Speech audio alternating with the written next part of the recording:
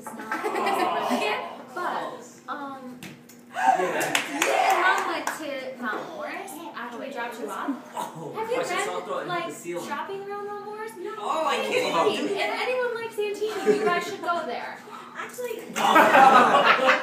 in Angelica on Thursday, because there's like so many stores there. It was kind of weird. There was like five or six boutique stores in Mount Morris. Yeah. Like they've really developed that Main Street. Wow!